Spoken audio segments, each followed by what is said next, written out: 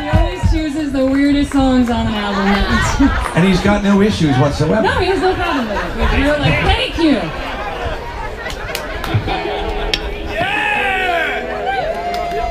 So we are so happy to be back. You guys look beautiful. It's a great day, great music, great company. We're so happy to be here.